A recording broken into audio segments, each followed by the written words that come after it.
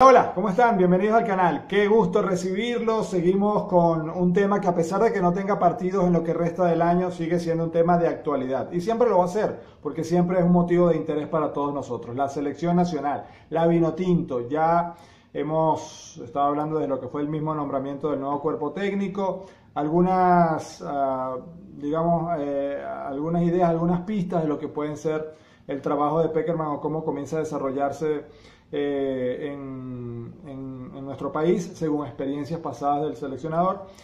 Y ahora hay otro tema que pasa a ser de actualidad también, eh, ciertamente sí, que es el de la sede.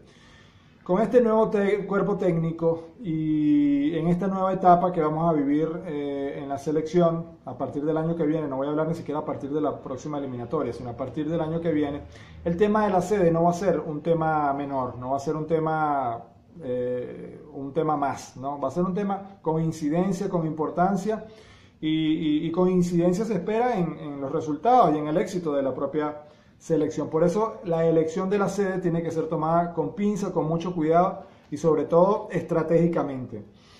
Eh, pasa a ser de actualidad el tema porque recientemente en la cuenta oficial del Centro Total de Entretenimiento Cachamay, eh, el estadio en, en Puerto Ordaz, en Ciudad Guayana, eh, se ha, em, informó en su cuenta eh, oficial en Twitter los trabajos adelantados que tienen más de tres meses que se están realizando y donde justamente uno de los temas puntuales fue eh, el tema del cableado, todo esto para obviamente mejorar el alumbrado. No solamente el alumbrado es tener buenos bombillos con potencia y que le entre luz eléctrica, no, había un tema con el cableado, también con la consola de mm, eléctrica y esto evidentemente eh, mm, requiere una inversión importante, principalmente, además, bueno, obviamente que se encarga un, un estadio que lamentablemente, creo que todos lo lamentamos, eh, de cualquier ciudad que seamos, eh, estaba en, en, completo abandono y eso de verdad que es muy triste porque ocurre también en otros estadios, ¿no?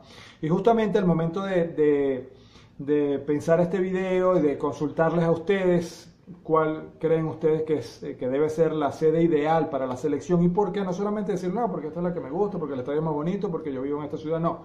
Con argumentos, con argumentos para lo que les decía al principio de, en qué puede ayudar a la selección, dónde se, se, sentirá eh, más arropada, con, con, con, mejor y mayor acogida, eh, cuál tiene las mejores condiciones para la selección y las peores para el rival, porque eso también hay que tomarlo en cuenta, ¿no? Entonces, eh, obviamente, al momento de hablar de sedes y de estadios, tenemos que partir por, por nuestra hora cero en cuanto a, a, estadios deportivos, por lo menos de fútbol, que fue la Copa América 2007. Y hubo un antes y un después, ¿no? Porque hubo, se construyeron nuevos estadios y otros que ya existían se remozaron. Y en la Copa América, para partir de allí, hubo nueve sedes en 2007. Fueron nueve las sedes escogidas Maturín, Barquisimeto, Mérida, Puerto Ordaz, Maracaibo, San Cristóbal, Puerto de la Cruz, Barinas y Caracas. Esas fueron las nueve sedes que vieron partidos en la, en la Copa América. En algunas se jugó más, en algunas se jugó menos, pero las nueve vieron partidos de la Copa América. Ahora, esas nueve sedes, hoy,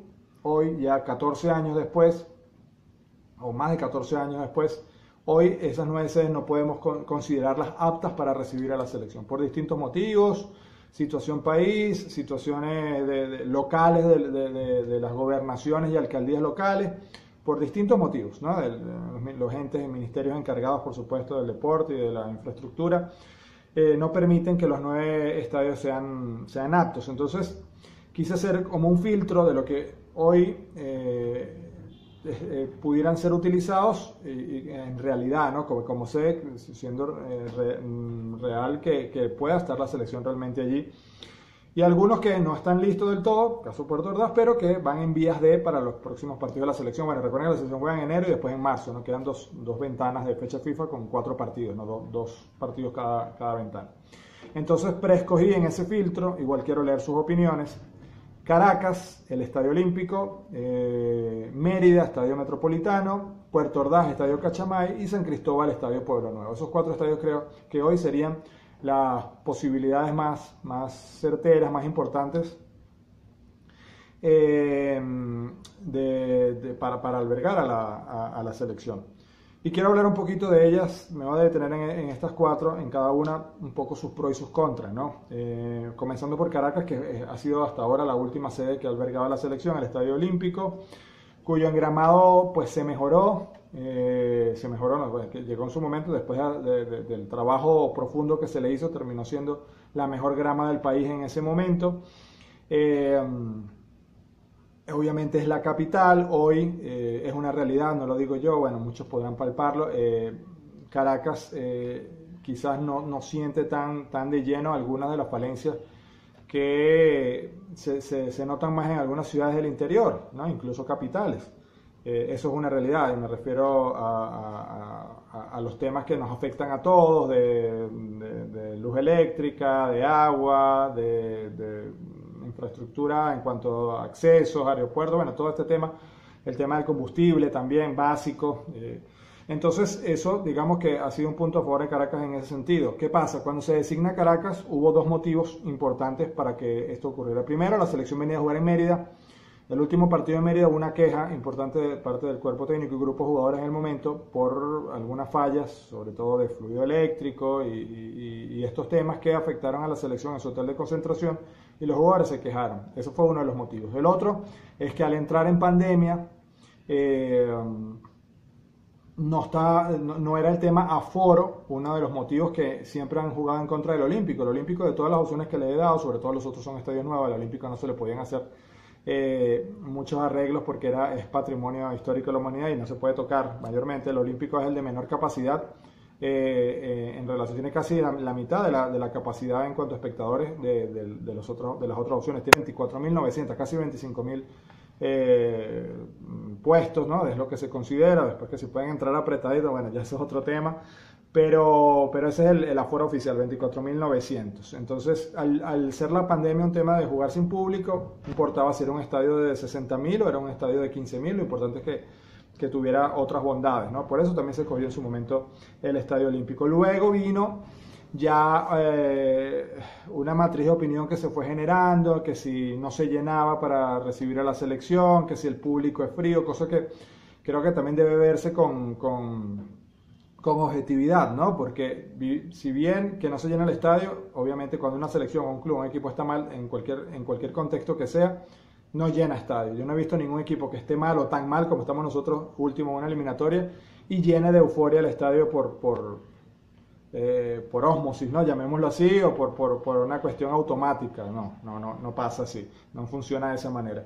Entonces, eso por un lado. Después el tema del público, que si el público frío o no. Yo con los partidos de selección tengo, siempre, siempre he objetado ese tema, que si el público de tal ciudad es más, eh, eh, es más fervoroso, el otro es más frío, porque cuando la selección juega, convoca a todo el país, no solo convoca a la afición de esa ciudad. O sea, si la selección jugó en tal ciudad eh, y llenó el estadio, no lo llenó solamente de, fanáticos o de, ciudadanos, habitantes de esa ciudad, no. Se desplazan de, de, todo, de todo el país. Entonces, incluso desde afuera del país a veces hasta viajan a verlo. Entonces, Creo que el mejor ejemplo es Puerto La Cruz. Puerto La Cruz, eh, recuerdo el partido, por poner uno emblemático, donde le ganamos a Argentina. Puerto La Cruz se llenó y ustedes ven las imágenes de ese partido. Bueno, es eh, tan fervoroso como cualquier estadio del mundo, como se vivió allí. Yo pregunto, les pregunto a ustedes, ese público que estaba allí en Puerto, la Cruz, en Puerto La Cruz y que se comportó de esa manera extraordinaria, ¿es solamente habitantes de Puerto La Cruz o fanáticos del Deportivo Anzuategui, que en los partidos del torneo local en Anzuategui llevaba 500 personas, como mucho. Sabemos que no. Ahí, ahí lo, comprobé yo. Viajó gente de todos los lugares del mundo. E incluso recuerdan en los reportajes de la transmisión de televisión, ¿de dónde viene? De acá, de Valencia, de, de, todos lados venía. Entonces no podemos decir que porque era así, el público de Puerto, Ordaz, de Puerto La Cruz es el más fervoroso, o el de Puerto Ordaz, o entonces el de acá es frío, porque la selección convoca a, a gente de, evidentemente de todo el país. Ahora, si estamos hablando de cómo se comportan con sus clubes, bueno, ya ahí pudiéramos hacer de repente una evaluación más sincera ¿no? en ese aspecto. Entonces, por eso digo que catalogar un público de más frío o no, depende. Quizás para estos partidos de Venezuela, si se hubiese trasladado gente de todo el país, que por los motivos que ya sabemos es difícil los desplazamientos, incluso por el tema pandemia, pues a lo mejor si estuviese lleno el Olímpico, con gente de todo el lugar del país. Yo, los que vi en el Olímpico, vi, prácticamente no vi gente de, del interior que haya, haya venido a ver a Caracas a la selección. Eso por ese lado. El tema del aforo juega, siempre juega en contra, sobre todo cuando ya hay acceso de público, juega en contra de, del Estadio Olímpico. Mérida.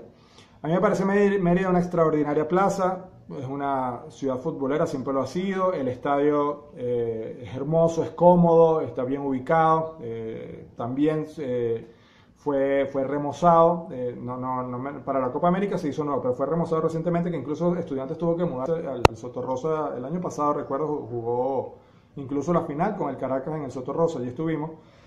Y, bueno, ya está en el Metropolitano, es un estadio con 42 mil puestos, eh, venía siendo, repito, la casa de la selección hasta que hubo ese, problema con el tema de, la electricidad y de las condiciones, el aire acondicionado se le fue, pasaron de repente un mal momento allí y eso hizo mucho ruido y, y generó también que a Mérida le quitaran en ese momento la, la plaza, ¿no? Eh, a mí me parece que es una de, de, de, las más importantes y muy válida para, para recibir a la selección.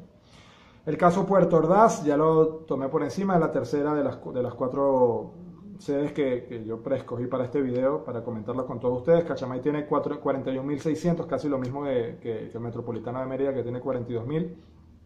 Ya ha sido casa de la selección muchas veces con éxito y, y, y en etapas ganadoras y que ha gustado, ¿no? Porque pasó mucho que lo, según el cuerpo técnico, según lo, el, momento que vivía la selección y el técnico que, que, la dirigía, la selección se fue ubicando casi de manera fija en, cierta, en, ciertas sedes. Con, con Richard Páez, la selección jugó mucho tiempo en San Cristóbal, pero también ya al final eh, Maracaibo fue adoptada en ese momento como la gran sede de la selección, el Pachencho Romero, que hoy no es, no es lamentablemente una opción ni remotamente. Luego con, con Farías la selección se mudó a, a, Puerto La Cruz, que fue donde se jugaron la mayoría de esos partidos también allí en, en, la zona oriental de nuestro país. Entonces siempre ha habido como, dependiendo de lo que quiera la, eh, el cuerpo técnico, ¿no? En ese momento también influyen otros puntos de interés que lo sabemos que hay, eh, cada, cada ente, cada gobernación, cada estado obviamente se ofrece, trata de, de justamente ganarse ese privilegio con, con eh, mostrando sus, mejores bondades, sus mayores bondades y evidentemente eso también pesa al final. Eh, ese tema de la sede eh, ya em, ha estado siempre en el tapete en, otras etapas y siempre ha sido un tema de discusión. Por eso creo que oh, traerlo al tapete hoy mismo era normal que en cualquier momento ese, ese tema iba a salir. Si bien nunca ha estado oculto, siempre ha estado allí como, como merodeando, pero ahora está, repito, más en actualidad desde que Cachamay y sus, cuentas oficiales dijeron que el estadio estaba en, vías ya de, alcanzar su mejor nivel. Y San Cristóbal, Pueblo Nuevo, que ha sido históricamente la casa de la selección muchísimas veces. Eh, también creo que incluso eh, en el exterior se habla mucho de San Cristóbal, de la manera como, como la selección es, eh, recibida y es acogida allí. Y, sí, evidentemente, no voy a decir que los rivales se se asusten, jugadores que eh, súper profesionalizados que juegan en los estadios más, más importantes del mundo. Creo que no se asustan ni aquí ni en ningún otro estadio, pero sí sienten el rigor y sobre todo la selección también se siente, se siente arropada, ¿no? Eh, y creo que Pueblo Nuevo, en buenas condiciones en Gramado, también es una sede perfectamente válida, lo ha sido siempre y no tiene por qué dejar de serlo ahora, ¿no? Más aún su, el presidente del Deportivo Táchira, el eh, señor Jorge Silva, anunció recientemente en sus redes también que van a tener nuevo engramado, una grama híbrida que va a ser de las mejores de América, supuestamente como mm, junto a la del Maracaná, y que si el clima ayuda, las condiciones climáticas ayudan, quizás en dos meses y medio, tres meses pudiera ya estar, estar listo, ¿no? Eso sería una grandísima noticia también, eh, tanto para el Deportivo Táchira, obviamente, que es el que ha subido ahí, como a la, a la selección nacional en caso de ser esa una opción. 40.000 espectadores caben en, Pueblo Nuevo según eh, las cifras oficiales. Entonces, presentando esas cuatro ciudades, recuerden que hay un tema también que es clave y para Peckerman lo toma en consideración y por eso creo que mmm, Cachamay da un paso adelante en ese aspecto, que es el tema clima. Eh, digamos que la que pudiera presentar un clima más hostil, sobre todo para el visitante, que siempre he dicho que el local también lo sufre, jugadores que vienen de, de otras latitudes acostumbrados también a otros climas, pero bueno, digamos que sobre todo al, al visitante es, Puerto Ordaz, es Cachamay, porque el clima en Caracas, en Mérida, en San Cristóbal, por supuesto, es mucho más benévolo que el que se consigue en esa zona sur de, del país. Y ya en Colombia, esto fue un tema también de discusión y que eh, fue muy utilizado en la era Peckerman, el tema de alternar, en principio alternar Bogotá con Barranquilla para luego quedarse definitivamente en Barranquilla, justamente por lo menos Bogotá sabemos que es un clima netamente frío, hay un poco de altura también, pero eh, la humedad es impresionante. He, tenido la suerte de estar en las 12, de, ir a partido eliminatorio con Venezuela en las 12, tanto con, Richard Páez fuimos a la de Bogotá y con Farías en la de, en la de Barranquilla y, la, diferencia es notoria, notoria y, y justamente Peckerman creo apunta hacia eso, hacia que el tema de la, del clima sea, sea clave, sea vital, sea decisivo al momento de elegir esa, esa sede. Peckerman de hecho lo sufrió, su Colombia, la Colombia de Peckerman, el 27 de marzo de 2013, una fecha inolvidable. Eh, la Colombia de Peckerman cayó ahí en Puerto Rico, cayó derrotada con goles de José Salomón Rondón, recuerdo. Eh, y, ya vivió lo que es el ambiente, había un ambientazo ese día, en, esa noche en, Puerto Ordaz y, y, Peckerman lo vivió, lo sabe y creo que va a apelar un poco a eso, ¿no? Por eso, repito, se está tomando toda la consideración eh, de, cuál va a ser la sede, se está estudiando, eso es parte de lo que también este cuerpo técnico está cuidando mucho.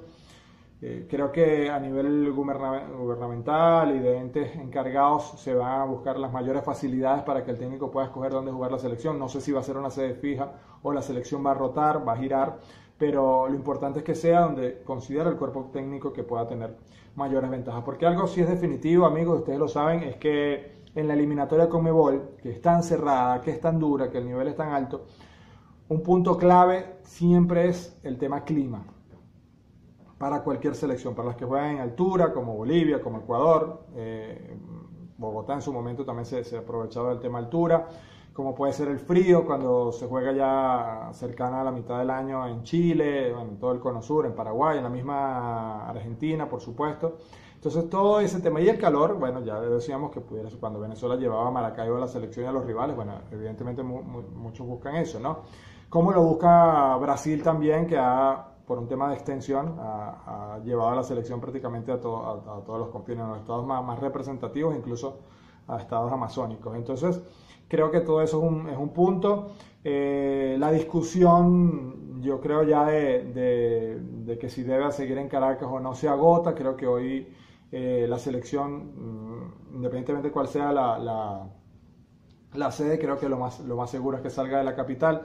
Eh, no tanto por esa matriz de opinión que se ha formado, sino por los argumentos que les acabo de presentar, el tema clima, el tema que ya conoce Peckerman de cómo se maneja en otras en otras latitudes, sobre todo en Puerto Ordaz, que ya él mismo lo vivió como rival, y em, el tema foro, porque ya estaremos hablando seguramente de, ¿por qué no? Ojalá, de, que se pueda contar con el 100% del aforo. Igual, eh, que, si, que porque se llena, ¿no? Creo que con, con aforo completo la selección, motivando al fanático con buenos resultados, sobre todo con expectativas, los resultados a lo mejor todavía no, no, se han producido, pero la expectativa que ya levanta la llegada de Peckerman va a hacer que el, público acuda en masa independientemente en cualquier, lugar, en cualquier lugar que juegue. Porque otras selecciones, la mayoría en nuestra Sudamérica, juegan en sus capitales y llenen o no, nadie dice nada. ¿no? Eh, Paraguay juega en Asunción, Uruguay juega en Montevideo, Bolivia juega en La Paz, obviamente, Perú juega en Lima. Eh, y salvo esta dualidad de Colombia, Bogotá, Barranquilla, que ha sido ya más Barranquilla últimamente, como lo que pasa en Brasil por su tema de extensión, ya evidentemente son prácticamente las únicas junto a Venezuela que rotan. Las demás juegan eh, prácticamente todas en sus capitales, independientemente se llene o no, o eh, si el público se comporte de tal o cual manera. Pero bueno, lo cierto es esto, el, tema sede de selección va, eh, está en boga, está en el tapete, quiero leerlos a ustedes, qué, opiniones tienen. Ya se los dije con argumentos, que no sean solamente un tema afectivo o de romanticismo o, de comodidad porque están en esa situación, sino cuáles creen ustedes realmente con sinceridad que deba ser la sede de, la selección nacional y por qué. Los leo como siempre y los invito a que se suscriban al canal si no lo han hecho todavía, a que le den like al video si les ha gustado y lo compartan, por supuesto que es muy importante para seguir haciendo crecer al canal. Nos vemos pronto. Gracias, chao.